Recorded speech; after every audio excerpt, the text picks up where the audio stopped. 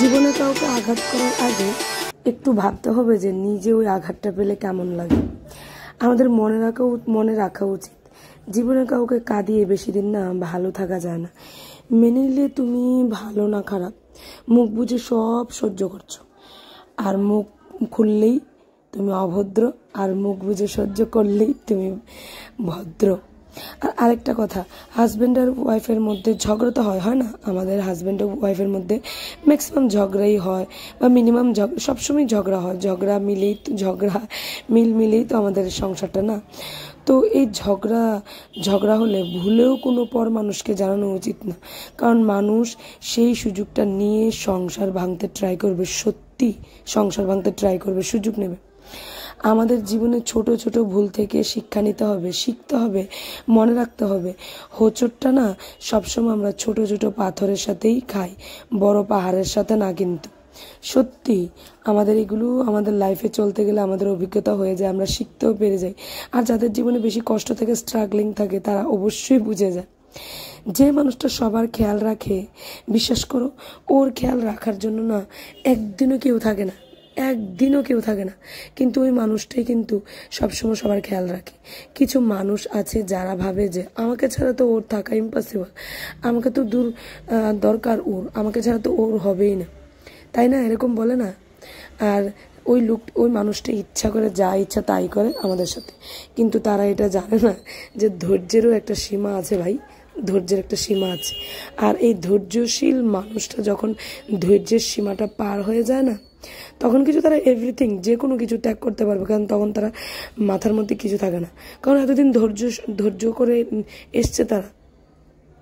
আর আরেকটা কি জানো? সময় ঠিক বুঝিয়ে দেবে যে কি পেতে গিয়ে তুমি কি হারিয়েছো। আর কি বলতো, জীবনে চলতে গেলে আছে না, এই সংসার জীবন করতে গেলে আছে না আমাদের অনেক অভিজ্ঞতা হয়ে যায়, সত্যি অনেক অভিজ্ঞতা হয়ে যায়। কত মানুষের যে চেহারা দেখে, অনেক কিছু ব্যবহার দেখে বুঝতে পারি যে মানুষ যে ভাই কত রকমের আছে। তো ওই যে বললাম না, যে মুখ বুঝে যদি তুমি কিছু সহ্য করে, তাহলে তুমি খুব ভদ্র, বা কি ভদ্র। আর যদি তুমি দু একটা কথার উত্তর দিয়ে দাও, সঠিক উত্তরই দিয়েছ, অন্যায় কিছু বলোনি, সঠিকই বলেছ, তখনও তুমি অভদ্রই হয়ে যাবে। এরকমই আমাদের সমাজটা সত্যি। তো আমরা কি করি? ম্যাক্সিমাম টাইমে চুপ থাকারই চেষ্টা করি। কারণ আমরা যারা সত্যি বলতে কি, যারা বুদ্ধিমতী বা বুদ্ধিমান আমরা চাই না যে সবসময় ঝগড়া করে নিজের ইমেজটাকে নষ্ট করতে। কিন্তু মাঝে মধ্যে এমন কিছু সিচুয়েশন তৈরি হয়ে যায় যে, কিছু কিছু কথার উত্তর না দিলে না তুমি দেখবে, তুমি লাইফে বাঁচতে পারবে না। যদি তুমি সময় মতো কোনো কিছু প্রতিবাদ না করো না, ওই ওই যে তোমার উপর যে টর্চারটা হচ্ছে না ওটা যদি সময় মতো তুমি প্রতিবাদ না করো, একবার হলো, দুবার হলো, তিনবার হলো, চারবার বা পাঁচবারের বারবার যদি তুমি কোনো প্রতিবাদ না করো, তাহলে দেখবে তোমার উপর আবার ডাবল এরকমই অত্যাচার হচ্ছে। তো সময় সময়ে কিছু না চোখ বড় করতেও হয়। যেমন বাচ্চাদেরকে যেভাবে শাসন করতে হয়, সময় সময় প্রথমে বুঝিয়ে নিতে হয়। ভালোবাসা দিয়ে না বুঝলে, কোনো কিছু গিফট দিয়ে বোঝাতে হয়, ওটাও যদি না বুঝে, তাহলে আছে না, ওই যে ডান্ডা ডান্ডার দরকার লাগে। তো তেমনই ওই আমাদের ক্ষেত্রে আমরা আমরা তো আর ডান্ডা ব্যবহার করতে পারব না পারব না। তো কিছু কিছু আমাদের মুখের কথা দিয়ে আঘাত করতে হয় তাদেরকে।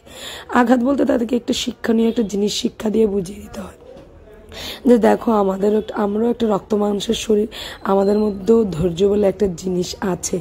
এটাই বোঝাতে হবে আর দেখো গাইজ তোমাদের সাথে আসলে লাইফে চলতে গেলে অনেক কিছু কি বলব, অনেক অভিজ্ঞতা হয়েছে। তো এমন কিছু সংসার জীবনে চলতে গেলে, সমাজে আমাদের সমাজে চলতে গেলে কিছু অভিজ্ঞতা হয়ে যায় এই অভিজ্ঞতাই কিছুটা তোমাদের সাথে শেয়ার করলাম। মনে কিছু দুঃখ জমেছিল, তো ওটাই শেয়ার করছি।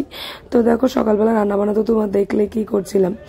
আর এই যে এটা গোলা রুটি বানিয়ে নিয়েছি সকালবেলা ব্রেকফাস্টের জন্য। আর আজকে নিরামিষ যেহেতু, তো রান্না করব চাল কুমড়োপুর। চাল কুমড়োপুর তোমাদের সাথে আরেকদিনও শেয়ার করেছি আমি। তো আর বেশি কিছু শেয়ার করব না। তো যেহেতু সর্ষে ভিজিয়ে রেখেছি। আর যাই, নারকেল কুড়িয়ে নিয়েছি। আর এইদিকে দেখো, রান্না কি হয়েছে দেখতে পাচ্ছ? ঢ্যাঁড়স ভাজা। আর এটা মাধবনের ডাল, মুগ ডাল দিয়ে করেছি। না সরি মুসুর ডালই। চাল কুমড়ো দিয়ে একটু নারকেল দিয়ে। আর এই হলো পুঁই ডাটার চচ্চড়ি, সমস্ত নিরামিষ আইটেম দিয়ে ভেজ দিয়ে। আর এই যে দেখো রেডি হয়ে গেছে আমার চাল কুমড়া পুর এটা চাল কুমড়ার ভেতরে বাস ঠুকিয়ে নেব, নিয়ে বাস ভেজে নেব চাল কুমড়োগুলোকে বাস এই তো আজকে রান্নাবান্না তেমনটা কোনো ভেজাল নেই। এই ছিল রান্নাবান্না, নিরামিষ খাবে যেহেতু, তো নিরামিষ তো ভাজা বাড়া ছাড়া ওরা কিছু খেতেই চায় না। তো শুধু শুধু বলো তো, তরি তরকারি রান্না করে কী লাভ? তবু আমি পুঁই ডাঁটাগুলো রান্না করতে বলেছি, কারণ রান্না করেছি, কারণ পুঁই ডাঁটাগুলো যদি আবার শক্ত হয়ে যায়, খেতে না চায়, এজন্য বলছি। তো এই যে দেখো, আয়োজন করে নিলাম, রেডি করে নিয়েছি, পুরটাও ভরে নিয়েছি। এখন বাস ভেজে নেব ওটার পালা। এই যে পুর রেডি করে নিলাম।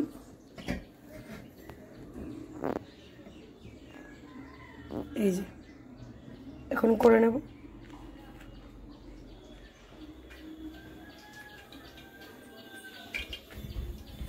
এই যে কড়াইতে তেল বসিয়ে দিলাম।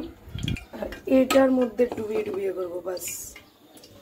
এটাকে তুমি ডুবে দেবে আর শোনাই আমার সাথে সাথে। দেখিয়ে দিঘা এই যে শোনাই।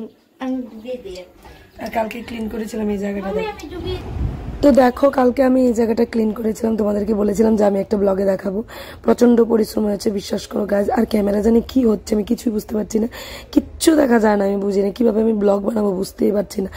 আর এখন তো একটা ক্যামেরা কিনতে গেলে কত দাম? তো কিনতেও পারব না, তেমন একটা সামর্থ্যও নেই এখন।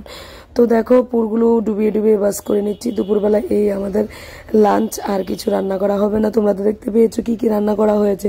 তো আজকের ব্লগটা না বেশি লম্বা বানাইনি আমি। কারণ কোনো কন্টেন্ট বেশি একটা ছিল না। তো ভাবলাম তোমাদের সাথে একটু নিজের অভিজ্ঞতা শেয়ার করি। আমি সংসার জীবনে এসে বা আমার এই সমাজে চলতে গিয়ে কি কি অভি- অভিজ্ঞতা অর্জন করেছি, এটাই তোমাদের সাথে শেয়ার করি। আর আশা করছি আমার মতো এরকম অভিজ্ঞতা ম্যাক্সিমাম হাউস ওয়াইফদেরই আছে আমার মনে হয় আমার কথাগুলো অনেক হাউস ওয়াইফদের সাথে মিলেও যাবে। আর বুঝতেও পারবে যে অ্যাকচুয়ালি এই কথার মাঝ এই কথাগুলো দিয়ে আমি ভিতর ভিতরের কোন দুঃখগুলো বোঝাতে চাইছি।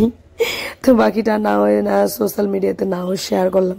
আর যারা বুদ্ধিমতে তারা বুঝেই নেবে। আমার সাথে অবশ্যই হ্যাঁতে হ্যাঁ মেলাবে। তো আর কি, বাস রান্নাটা সেরে নেব, সেরে নিয়ে কিছু কাপড় চোপড় ধোয়ার বাকি ছিল, তো এগুলো ধুয়ে ছাদে নিয়ে বাস মেলে দেব। মেয়েকে খাইয়ে নেব, ছেলেকে খাইয়ে নেব, বাস আমিও লাঞ্চ করে নেব। ব্রেকফাস্ট তো করে নিয়েছি। তো কাজকর্ম করতে করতে বেলা হয়ে গেল, বাস একটা দশ বা সোয়া একটা বেজে যায়। প্রত্যেক দিনই আমার একটা দশ বা সোয়া একটা বা একটা- বিশ, দেড়টার আগে তাড়াতাড়ি শেষ হয়ে যায়। তো এখন স্কুল নিয়ে জন্য একটু লেট হচ্ছে। নেক্সট মানডে থেকে তো আমার ছেলে মেয়ে দুজনের স্কুল শুরু হয়ে যাবে, তো আর একটু তাড়াতাড়ি উঠবো।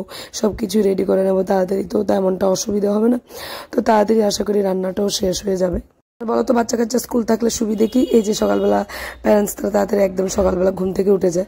এটা হলো সবচেয়ে বড় সুবিধা। যদি স্কুল না থাকে, সেই আলসে মেয়ে কুড়েমি একটু লেট রাত রাত্র করে ঘুম ঘুমাই কারণ পরের দিন তো স্কুলেই নেই, তো একটু দেরি করে ঘুমালে কোনো অসুবিধে নেই।